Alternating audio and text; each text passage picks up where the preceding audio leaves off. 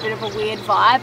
We kind of weren't welcome here anymore. Not much has gone right today. I've made Riley do a gear review. What's up, everybody? I'm Elayna, and this is Riley, and this is our home, La Vagabonde. We've been sailing around the world for the last five years and have recently found ourselves with a stowaway. Meet Lenny. Subscribe and welcome aboard.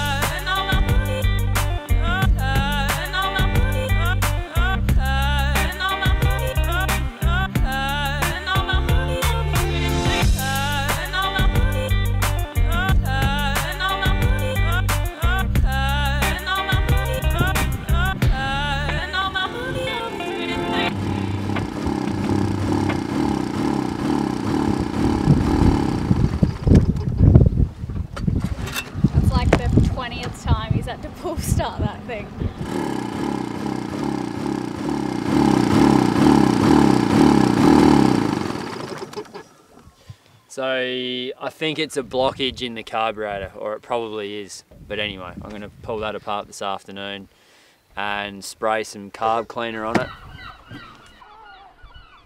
There were such good vibes when we first arrived here, but now everyone's kind of seen us in town and there's a bit of a weird vibe. Today, one of the fishermen, he didn't get super fired up, did he? But he wasn't afraid to tell us that we kind of weren't welcome here anymore. We were supposed to be in quarantine, but that's not what we've heard. But each port has different rules, so he said if the police find us, we might get in trouble. So anyway, and people are just kind of staring at us and As far as we know, that's incorrect and we haven't done anything wrong. But Yeah, yeah, obviously, we these guys see us as outsiders and Yeah. understandably don't really want us wandering around yeah, we town. feel like we're a walking disease right now, so we're going back to the boat. Yeah, he basically told us that we we weren't welcome and we would have to quarantine before coming inland and Did he say we weren't welcome? And I mean, he It's was just a serious than I fisherman. He wasn't the police. Yeah, yeah, which is the opposite of what we heard from Lagos Marina. yeah, yeah.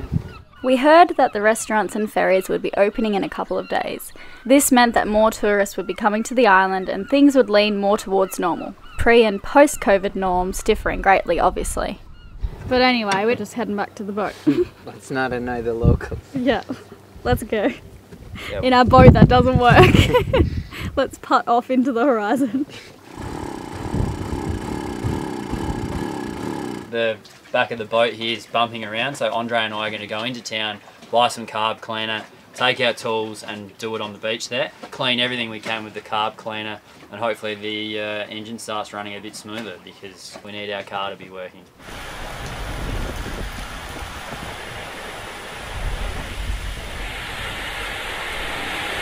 Not much has gone right today. Haven't got much work I say, I haven't got much work done on the outboard.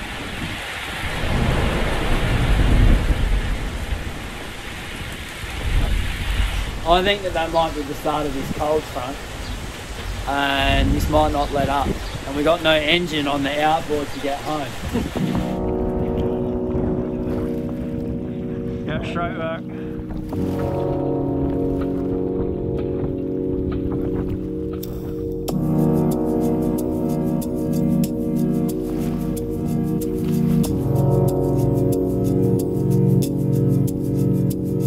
Success, boys? No, we successfully survived, which was ne- not necessarily uh, going to happen there at one point. Oh, bad luck, boys. You want some warm lunch? Yeah, Yes. it's so warm in here. Mm. It's been cooked here, pantaloons. We're making burritos. It's a burrito hunt day. And the boys are so hungry, it's hilarious. I've just brought out the nuts and I'm like, eat these, sit down, stop pecking at my food.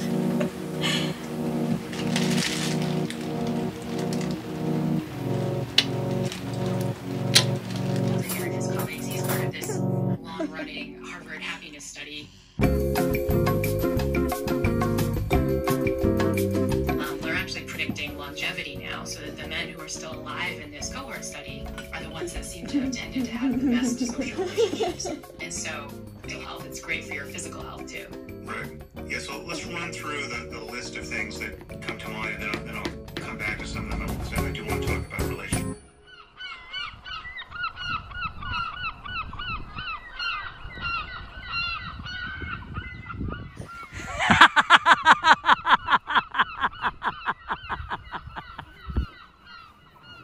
well done. The boys are having a stone skipping competition. Skip off.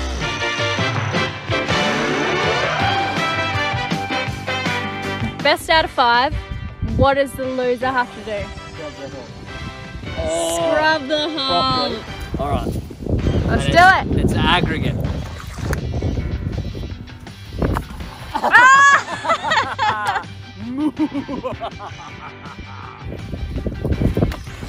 Oh, what is going on? Oh, I've got two, you've got one.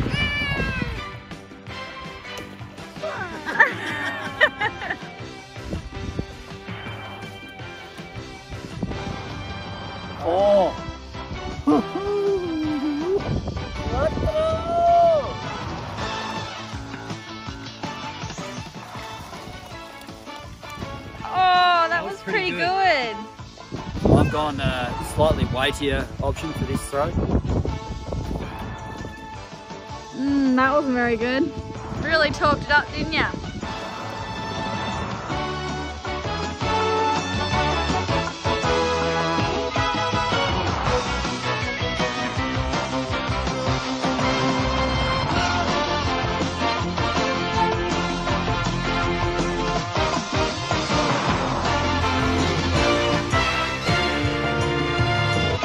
Needs to be a five skimmer skim. Come on, Andre, your best one. Oh no!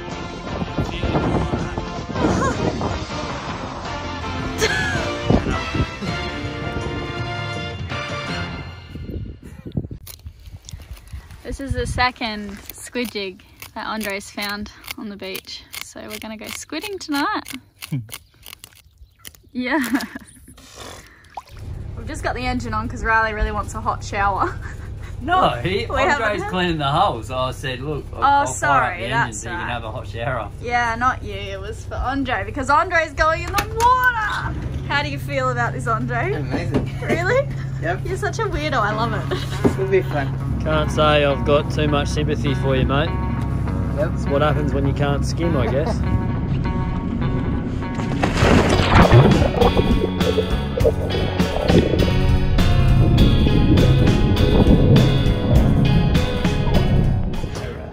kind of you to turn on the engine for hot water for Andre. Have you done that for me before? I was going to say, I don't think I would have extended that You're courtesy very to lucky, you. Andre.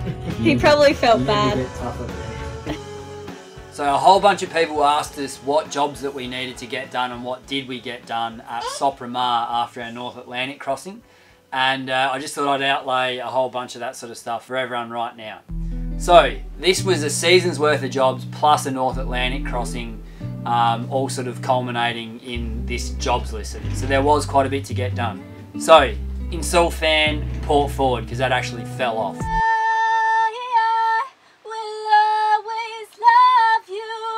Fix flexible light at the nav station. I'm pretty sure Lenny actually pulled that off. Glue the rubber on the sail drive, replace gear oil on the sail drive. That's just standard stuff that needs to be done at the end of every season. Gel coat repairs and polishing. Today's music ain't got the same soul. I like that old time rockin'. I think we dropped a winch handle and a shackle and a few other things. That's just standard crossing stuff. Rigging check. There was quite a significant rigging, not failure, but issues. So they replaced one of the flexible steel wire ropes. Water leak in the engine room on the starboard side was just causing me so much dramas on that crossing. Water leak at the stern on the port side hatch has been fixed. Radar reflector installed, that fell off mid-crossing and landed on the deck and just shattered everywhere. Send life raft off for inspection and refit it in place. The life raft just chafed free. It was um, pretty difficult for Nikki and I to replace in 40 knots of wind. Sliding doors were a bit, I don't know, I guess rusty or had gooed up a bit, so they just went over them and made them slide. Chair in the saloon had worn free because just of the excessive bumping and grinding and clinging and clattering. Chair in the cockpit was just absolutely wiped out by a massive wave and they redid the anti-fouling. So yeah, we got a fair bit of stuff done at uh, Sopromar, so big thanks to those guys. We've had a pretty clean bum since leaving the boatyard earlier this year, thanks to International Paints who hooked us up with some anti-fouling. Over a few emails they suggested we go with their Micron anti-fouling which is their premium line and will protect against slime and fouling organisms. Hopefully with less time spent scraping the hull, Riley will have less chance of ending up with another crab in his ear like in the Galapagos Islands. Proper anti-fouling stops the spread of invasive species and having a slippery bum underwater means more time sailing and less time motoring. The finish we got was really, really nice. I couldn't stop patting it. Thanks so much. If anyone out there needs a touch up, I'll link International Paints in the description below. Legends. It is laundry day, everyone, and food shopping day. We are going over there to that town. We're pretty excited about it. So the outboard's fixed. There was no carb cleaner on the island that we could buy. But in the process of looking for it, Andre actually met a dude in town who had some, and him and Andre pulled apart the carby and fixed it. It only cost us 10 euro. Absolutely incredible. So we just threw out a stern anchor and tied our forward line here. And this is town. There's people out and about. It's very exciting. So we need to do our laundry and do a food shop. Come to dance, fallen leaves are now covering our feet. Come to dance, there's no other to float. Got 25 minutes till I have to go back to the laundry and switch it over to the dryer. And um, Come to dance, yeah, there's people out and about. Cafes and restaurants are open. We're gonna eat out for the first time in forever.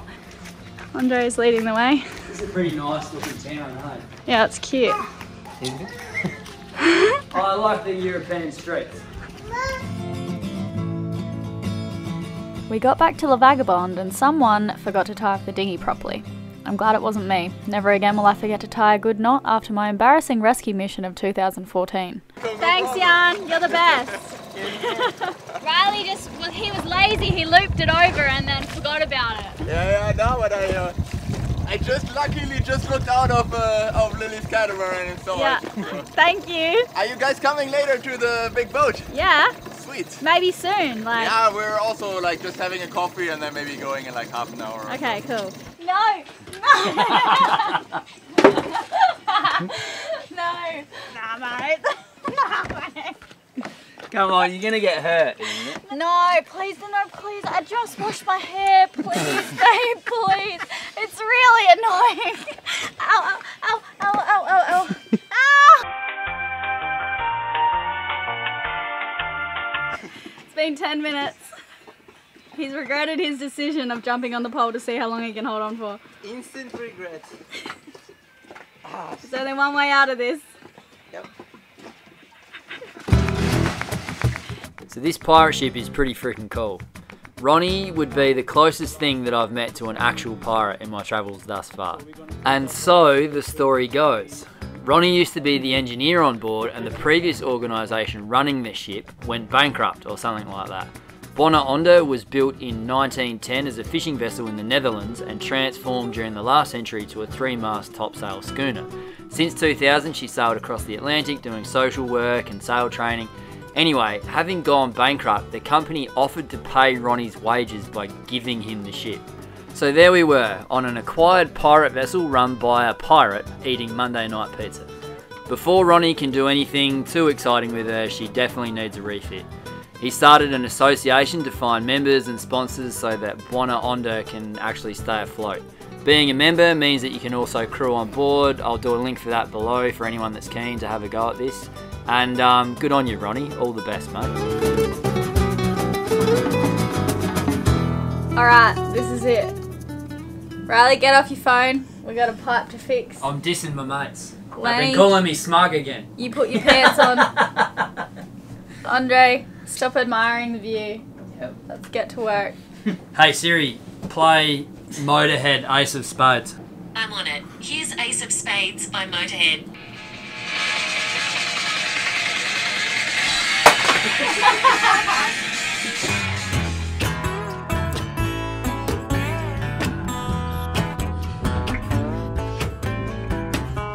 This occasionally gets blocked, so I'm trying to find. There's going to be He's blaming me for all blockages. Elayna shaves her um, Eyebrow pencil. Eyebrow pencil. and I've frequently noticed the bowl full of eyebrow pencil shavings. Straight after, it always Gets a bit harder to sink the water. exactly. I haven't drawn my eyebrows on forever because my friend Roxanne feather touch tattooed them on. Thank you, Roxanne. Never coming off. No more eyebrow pencil.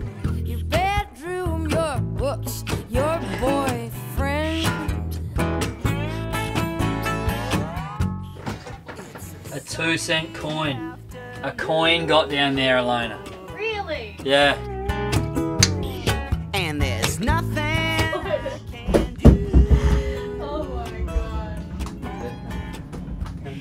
Close my eyes and I see you. All right, time to get down now, Lenny.